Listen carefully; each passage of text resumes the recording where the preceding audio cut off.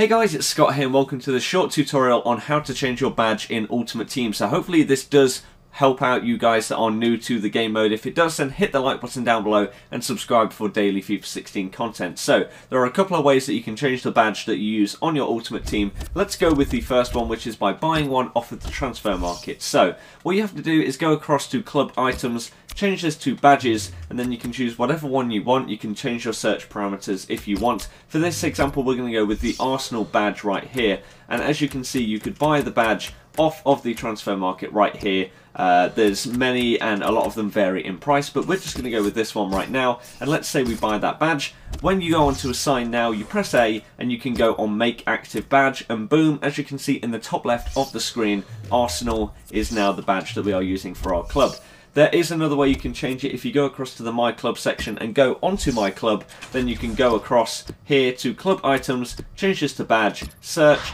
and then let's say for example the Leicester badge, we go on this, make this item active, and there we go. So we're back to the Leicester badge. It is as simple as that to change the badge that you use in your Ultimate Team this year. So hopefully you did find this helpful. If you did, leave a like rating, and I'll see you guys next time. Goodbye.